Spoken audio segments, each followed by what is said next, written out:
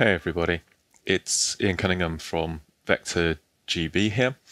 Um, in common with a number of you, I'm now working from home. And of course, this means I'm having to work with PREEvision over my home internet connection, which is definitely not an internet connection with the same bandwidth as I would typically have at work. So I thought I'd just take a couple of moments to show you how I am able to connect to a PREEvision server and, and work even with this restricted bandwidth connection. So just for information, my, my home bandwidth, um, the, the best I've ever had is, is 40 megabit per second. So you, you can uh, do the maths yourselves. That, that equates to about a 5 megabyte per second internet connection for, for my home office. Um, I'm going to do a, a demo for you here with uh, version 9 of PREEvision, Service Pack 10. Um, this is because that's the server that I, I have available to me.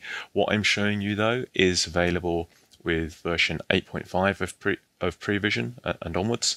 If you have any questions about how to do this, then please contact your local Vector office and they'll be able to uh, put you in touch with the people that will, will help you um, work in, in this way. So what I'm using is I'm using PREEvision's partial model transfer support um, to try and make it easy for you to see what's going on. I've I've also got this um, resource monitor Windows resource monitor in the background to to try to show you uh, what's happening on my internet connection as, as I'm working. So here I have the PREEvision splash screen. Uh, I have my my project, my password already uh, they're waiting to go. What I just want to do quickly is I'm going to set this to be no active scope. Okay, so this means that when I connect to the server, PREEvision is going to fetch the absolute minimum amount of data uh, possible to, to work with.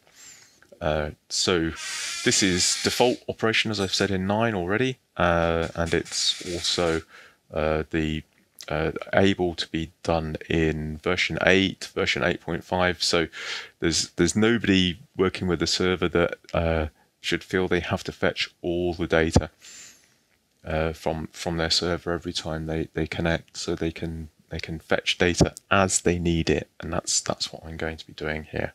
So as soon as PREEvision starts up, because I've selected no active scope, it's going to put me into a scope definition view. So we can see this just loading up in the background now. And there we go. So it's working with some data on my hard drive. It's now, we can see uh, little tiny peaks in my network traffic started to um, pull some data over from the server. And here again, we can see PREEvision is, is doing some work to, to pull data over from the server. So this um, is, is really, you can see the peak here is, is, like one megabit. It's down. It's actually dropped down now to, to kilobits per second. So it's really not working my my home internet connection hard at all. So give it a few more moments, and it will have pulled the data over. Now I am really uh, working with my internet connection, so we'll see this. Uh, obviously, it's slower than it would be at work, but it still works. So this is good, it means I can carry on working. So now I'm into my, my scope definition view. So what PREEvision is, is giving me here is a view where I can define a new scope. So you'll know scopes obviously provide just a, a small, uh, like a window into the model, so we don't necessarily see everything. It's a way of tidying up the model tree when we're working normally or allowing us to focus in a specific area, not getting lost in the model tree. What I'm going to do is I'm going to create a new scope.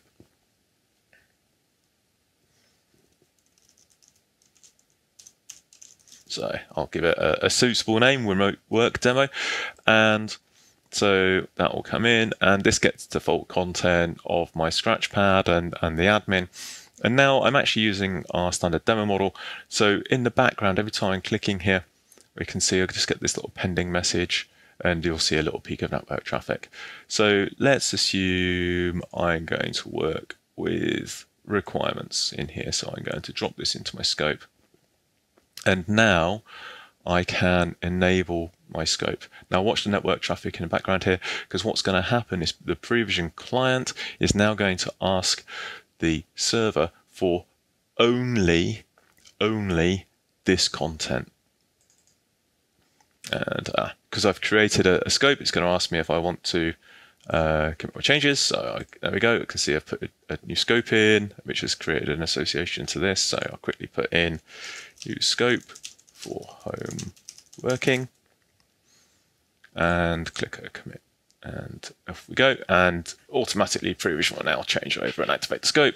We can see my network traffic is shooting up. So this is a combination of, of the commit.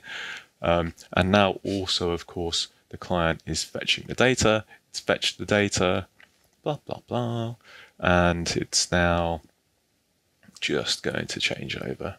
So hopefully any second now, I'll flick over into my EE. There we go. So now I've got my data and I'm able to work. So obviously I'm in a scope, I only have this view, but now everything that was available in this scope uh, that I've defined is available to me for working with.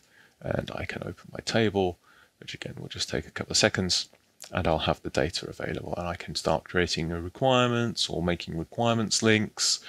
Um, it's going to ask me for workspace because of this table needs workspace. So I'm not going to set one because I haven't brought in the mapping containers. And there we go.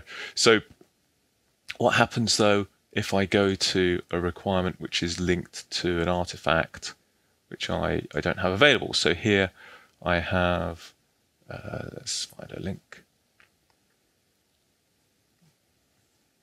Ah, I'll tell you what, let's just look for the mappings. Even easier. So if I look into my mappings, oops, without causing it to, to redraw too much. There we go. So I have this mapping that I may be interested in. Now, if I double click on this, PREEvision in the background has temporarily added this to my scope. So I can, although I didn't include the mapping container originally, I can now, via this mapping, I can find the mapped artifact. And look, this is going to a geometry package, which again is outside of my scope. So it's shown gray here. What I can do, if I click, I get the option to add again this to my scope temporarily. So this gets added in. Again, we see the peak in the network traffic in the background. But now what I can find is that whole of that geometry is being brought in to my client. So everything down here has just been brought into my client in the background for me as I've gone in and, and found stuff. So if I open up the uh, drawing here, this will be not particularly pretty, but I will be able to open this drawing. There we go. And if I zoom out a little bit, I can see now the wiring diagram for my uh, convertible top. So this is a very quick view on working with um, scopes and partial model support to enable those of us who are working from home with limited network connections to still be able to fetch data. So it, it means I have to pause momentarily every now and then to fetch some data, but I don't have a really big long startup time. I'm not having to transfer lots and lots of data that I may not even want to use over my limited home connection. So stay tuned to Vector's YouTube channel for more hints and tips on how to use our tools. And please contact us if you have any questions on using any of the features you've seen in this video.